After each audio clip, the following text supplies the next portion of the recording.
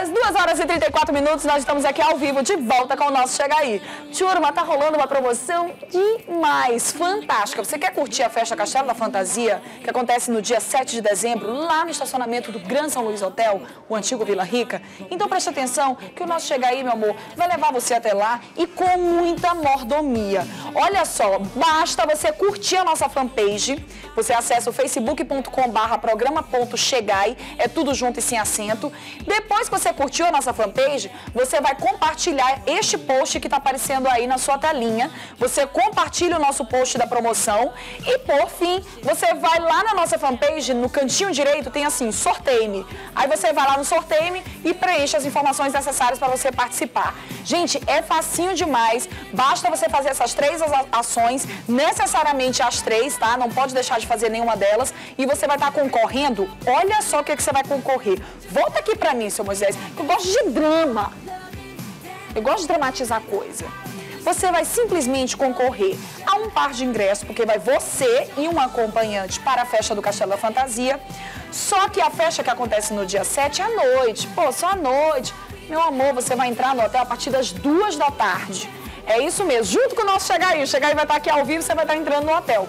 Você vai chegar, dar entrada no seu no hotel no dia 7, às 2 da tarde, você vai ficar até o dia 8, às 2 da tarde. No dia 7, você ainda tem direito ao esquenta na piscina, que é justamente aquela preparação, aquele clima de azaração todo que vai rolar no hotel. E à noite vai rolar a festa. No dia seguinte ainda tem uma feijoada, meu filho, para você curar aquela ressaca, para dar aquela calibrada, muito feijão para te dar força. Você vai ter direito também. Tudo isso, só o nosso chegar aí vai, vai te proporcionar. Então participa da nossa promoção e olha só, essa festa uma realização da Ótima Eventos. A gente agradece essa parceria maravilhosa. Valeu, Alexandre, os meninos. Valeu, Rodrigo. Os meninos mandam muito bem quando se trata em festa. E aí, olha, vai ter os Dexters na, como atração principal, que é o Júnior Lima, o Amor Lima, o Júlio Torres e também a participação especial de Lucas Lima. Se fosse você, participava dessa promoção, que tá uma gostosura. Turma, agora chegou a hora, sabe do que? Do nosso Pense Moda. É isso mesmo. Nós, hoje, já que nós estamos nesse clima de empreendedorismo, de passar forças positivas para você do outro lado, tá pensando em montar um negócio, tá querendo montar um, né, um, algo para você que você goste, que dê certo e também para você que está em busca de um trabalho, chega aí, está neste clima e o nosso Pense em Moda de hoje é justamente, justamente dando dicas, é porque quando eu começo eu ah, falo muito rápido, você vai, a gente vai dar dicas bem fáceis, simples, para você que não quer errar, não quer fazer feio na hora de escolher a roupa certa para o trabalho. Vai!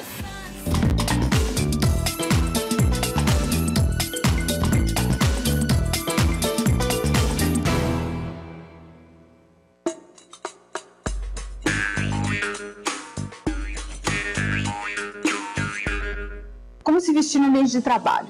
primeiro lugar, é necessário entender tipo de ambiente de trabalho que você está falando. Você trabalha numa agência de publicidade, um escritório de advocacia, que é um ambiente formal, informal, de que maneira você quer se destacar. Um ambiente formal, como um escritório de advocacia, por exemplo, não é adequado usar esmaltes coloridos se você é mulher. Não é absolutamente adequado, se você é homem, não usar terno, por exemplo. É obrigatório usar terno no escritório de advocacia.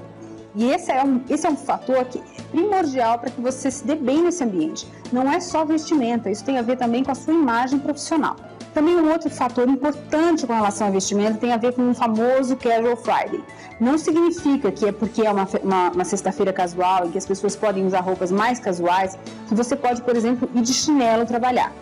É importante entender que a roupa faz parte de um conjunto de coisas, como por exemplo comportamentos dentro do escritório. E roupa também é comportamento. Ela é embalagem, a sua embalagem, a forma como você, tá, como você se, se apresenta no ambiente corporativo. Então, cabelos descoloridos, esmaltes é, chamativos, calçados esquisitos, chinelos, roupas muito decotadas, tem a ver com a maneira como você se destaca dentro do ambiente corporativo. Mesmo em ambientes informais, você precisa tomar cuidado com isso, porque você se destacando da maneira equivocada pode prejudicar sua, o seu desempenho, inclusive a, por em xeque seu desempenho profissional. Então, não não descuide para o fato de que só se vestir é só a forma como você se veste. É, tem a ver também com a forma como você se comporta. Roupa é comportamento também.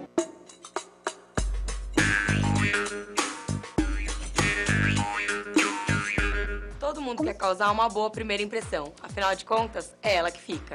Para começar com o pé direito, a gente tem várias dicas para vocês. Ser sempre simpática, se posicionar, se apresentar, estudar um pouco antes sobre a empresa, usar joias e maquiagens bem discretas. E é claro, usar a roupa adequada. Para isso, a gente vai chamar aqui a Sheila. Ela tá com um look mais sério para quem trabalha em banco, escritório de advocacia. Ela tá com uma calça de alfaiataria com detalhe em couro, que deixa a calça mais bacana, mais moderninha. E essa camisa é super clássica com colarinho branco. 284. Esse look é ótimo para quem trabalha com revista de moda, jornalismo, ou seja, num trabalho que pede um look mais fashionista e atual. A calça flare e o cintinho de onça são minhas peças preferidas. Esse look é perfeito para quem trabalha ao ar livre, às vezes tem que visitar uma obra, como uma arquiteta, decoradora. Esse cardigan de oncinha com essa calça compõe o look perfeito.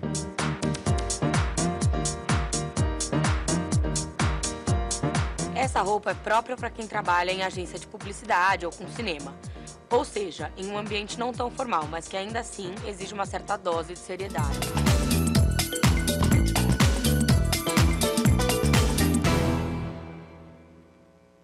Só, gente, dicas fáceis, mas meninas, não tem erro não. Olha só, eu fico revoltada com determinadas coisas. Aí a pessoa vai atrás de um trabalho, pô, que é legal, louvável, que é um trampo. Às vezes tem um filho, quer ajudar no aluguel da mãe, legal. Mas a pessoa me vai procurar o trabalho com a barriga aparecendo. E meu amor, nem quem tem barriga legal tá mostrando, tu imagina quem não tem. Então deixa ela escondidinha, bota pra dentro, entendeu? Não corra esse risco. Outra coisa, as pessoas usam umas roupas muito chamativas. Também não fica legal, gente, não cola bem. Então fique ligado qual é o perfil da empresa que você quer trabalhar, para você tentar acertar, entendeu? E outra coisa que eu vou falar também que é muito certa. Não é preciso você gastar muito para você se vestir bem. As lojas departamentais estão para isso. Não me deixa mentir. Você compra roupa aí de 30 e poucos, seus 20 e poucos, 40 e poucos. Você tem que ver o que, que você pode investir para você ir comprar a coisa certa. E minha filha, dá para você arrasar assim. Eu ainda vou fazer essa pauta, viu? Nós vamos na Rua Grande e você vai ver como dá para se vestir legal, bonita, arrasar, sem precisar gastar muito. Tá vendo? É, dicas também, as meninas aqui da, da nossa, da, da, nossa produção tá pedindo dicas de como seduzir o chefe no trabalho. Gente, eu não posso dessa dica, gente. Porque aí não vai ficar legal, não vai ficar bonito, entendeu? Programa desse, dessa natureza, desse nível, a gente dá dica como você seduzir seu chefe, entendeu? Sei lá, colega, abre o botão, pá, faz qualquer coisa, mas eu não vou poder dar mais dica disso, não. Porque o negócio aqui é muito sério, entendeu? Muito sério, por mais que não pareça, mas Deixa eu mandar um beijo pra quem tá participando da nossa fanpage. Ei, você aí do outro lado, pelo amor de Deus, você que não tem um dente na boca, você que não tá, nada, não tá fazendo nada, você que deixou o seu feijão queimar hoje, por favor, vai participar com a gente no nosso Facebook. É uma questão de ordem. Vai lá, tá aqui, dá uma acessada na nossa fanpage. Pelo amor de Deus, pelo amor de Dadá. Olha, você vai lá, você participa junto com a gente, manda seu alô, seu beijo para quem você quiser, confere as nossas fotos e também ainda pode acessar o nosso site, entendeu? Mais informações para você que quer empreender, montar seu negócio, tudo que a gente bater esse papo hoje aqui, tudo que rolou aqui, nós vamos colocar para lá para você também dar um estímulo para você a mais, tá bom?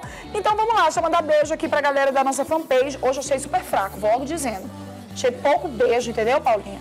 Não gostei desse negócio. Quase ninguém mandou beijo pra cá nesse programa. Pelo amor de Deus, gente, a gente tá aqui ao vivo eh, querendo mandar um alô pra você. Então eu vou mandar beijo especial pra quem participou, tá? Alô Flybala lá de Rosário. Beijo especial pra você.